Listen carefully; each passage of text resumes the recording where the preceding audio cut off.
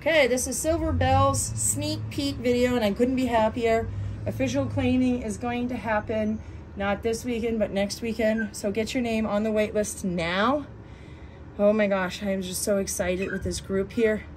So this is our Valentine's Day litter. Right here, this lynx is a girl. Her name is Venus. And she's a regular lynx, not a charcoal. So we've been producing a whole lot of charcoal lynx lately. And usually it's a very popular color. But I know that there's a few people on our wait list looking for non-charcoal lynx, And here you have it. Look at this pretty girl. So we're gonna have pictures, but take a look at those rosettes well spaced, round, great contrast. And of course, these rosettes will open up and reveal a lighter color inside. Rosette formation is slow, and at this age, it's, it's pretty common to have pretty like solid spots until this lightens up. You're such a pretty girl. One of the things I like about Venus is how dark her rosettes are which means she's going to have fantastic contrast. Um, another thing that is going to be true is that she she's going to have blue eyes because she's a lynx. And I'll tell you, she's so dark. I would think that she was a mink, but she's genetically has to be a lynx. So I'm really impressed with the contrast and how dark she is. She's really quite beautiful. The next are all silvers, two of them girls, one's a boy. So let's go with the boy. Um, the boy's name is Cupid, and that's Cupid. Okay, so the thing about Cupid is it looks like he's a charcoal. It would be a light charcoal though. And the reason why I say that is because you can see a black cape down the spine right here.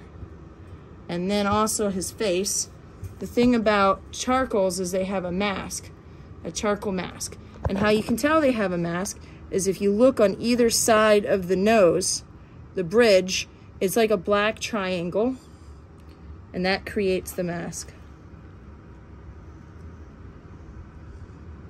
So black nose, black ridge, black triangle, charcoal mask. But I mean, it, it really is minimal. He is very much um, a light charcoal. I mean, you can barely tell.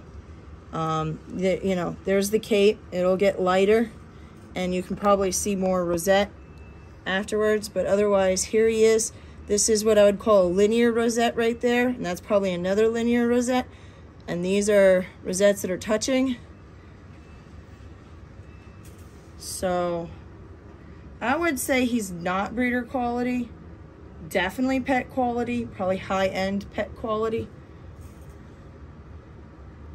On this side, again, you would see the rosettes are well spaced. There's uh, one that's a little bit more linear. But I mean, for me, I'm just really picky about the shape of the rosettes. I like them to be round. I like them to be well spaced. I don't want them touching. So, but otherwise, he's a chunky guy.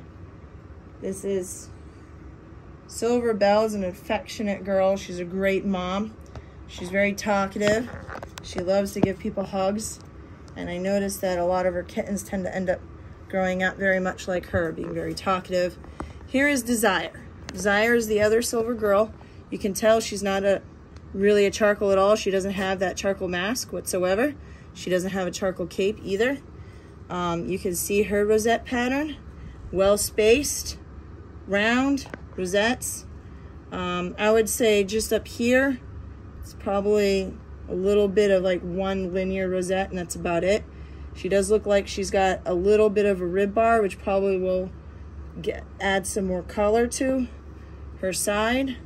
Um, it's not technically considered a rib bar if it's a linear rosette. A rib bar is where you got a black line and it's not a rosette at all. Doesn't add any color.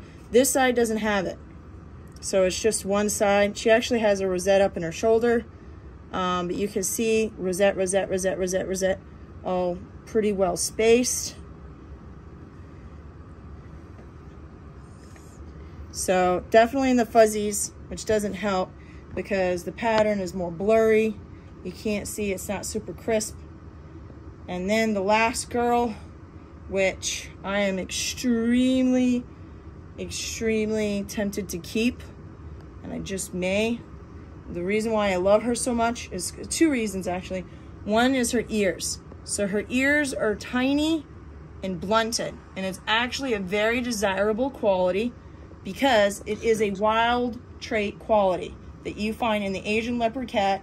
You will not find it in the domesticated breed. So it is a trait that is kept from the ancient lineage that makes it a more wild and more sought after look. So other kittens that have bigger ears, especially if they're pointed, it's more like a domesticated cat. She's got a wild type ear. And, and I'm telling you, in the show rings and grading, it's actually or er, can earn you a lot of points. So uh, it was something I noticed immediately. I don't see it very often. So she's very unique in that respect. Then there's her pattern. Her pattern is simply beautiful. No rib bars, completely well spaced, loaded with rosettes. And you can see the back is breaking up. And she's a cutie pie to boot. On this side, it's a little bit more of a linear rosette there, but I can actually see it breaking up. So here's one, it looks like it's breaking up. The pattern looks like. But I mean, honestly, I feel like she's got a lot more going for her. I mean, it's hard to find perfection, but she is pretty darn close. So close. I mean, absolutely high-end breeder quality.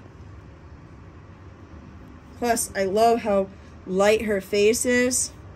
Her rosettes are really dark, which is what you want. Her background's really white and light, which is going to aid in that contrast. And I look at her face, it's so perfect.